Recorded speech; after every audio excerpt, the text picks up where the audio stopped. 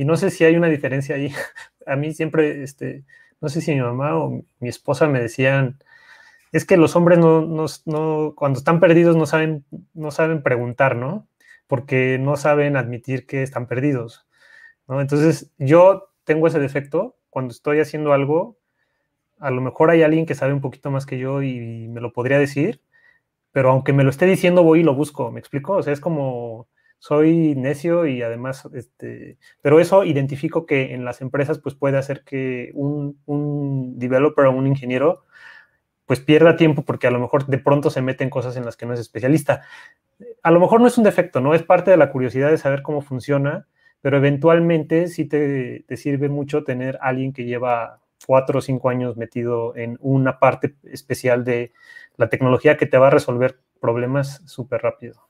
Sí, ¿sabes qué creo que ahí pasa? Eh, creo que puede ser un poco de hombres y mujeres, y perdón que lo diga así. Creo que en ocasiones a ustedes les da un poco más de pena pedir ayuda o aceptar que necesitan ayuda. Nosotras no. O sea, nosotras vamos y, oye, ¿sabes cómo se hace eso? Ah, sí, sí, a ver, ¿me ayudas? Ok, va listo, resolvamos, resolvamos ese problema.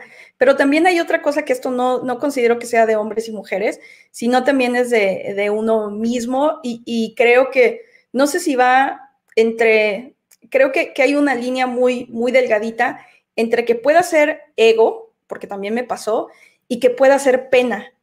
Y entonces a mí me va a dar pena ir a preguntarle a alguien que tal vez acaba de entrar a la compañía o que tiene menos tiempo que yo ir a preguntarle cómo es que limpió de una manera tan eficiente ese dato.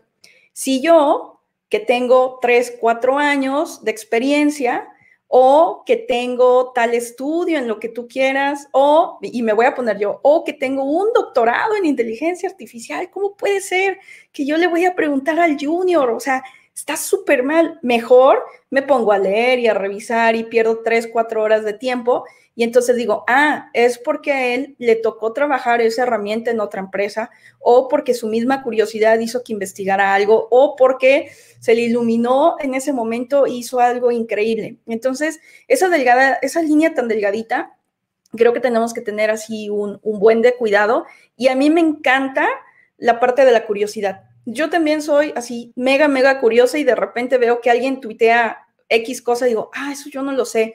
A ver, voy a investigar, voy a tratar de aplicarlo en la empresa, me pongo a programar y ching, no sirvió porque pues no tenemos el mismo pipeline, no, no tenemos la arquitectura o no tenemos lo que sea, y ya perdí tres, cuatro horas tratando de implementar algo que no se podía implementar por todas las, todo el ambiente como está, ¿no?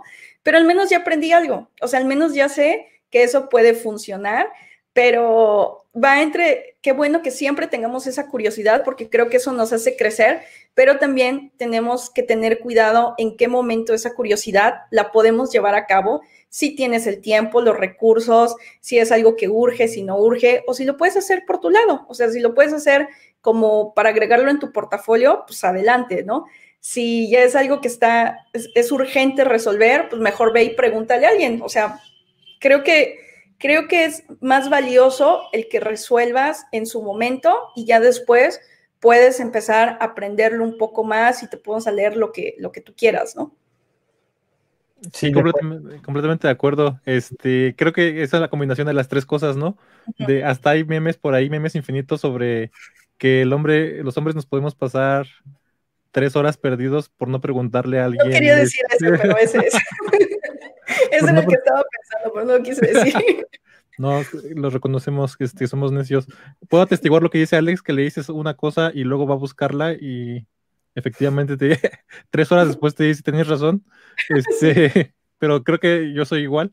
Este, y el, el, comentario que está aquí es esto, ¿no? Es, creo que tiene mucha razón Jesse, que es, es un punto intermedio entre curiosidad y ego, eso que nos pasa, ¿no? Porque hay veces que, es como, pues sí, ¿cómo, ¿cómo, le voy a, cómo voy a admitir que no sé, no? O sea, es como, ¿cómo voy a decir, no sé? Perfecto. Oye, como decíamos un poquito antes de la plática, contigo podemos platicar de un millón de cosas, este, y esta plática podría durar cinco horas. Este, quería que antes de pasar ya al tema de, del, el, pues sí, el título, queríamos atender lo que acabas de ver es un pequeño extracto de una charla muy interesante que tuvimos con el invitado. Te invitamos a ver la charla entera visitando el link que pusimos en la descripción del video.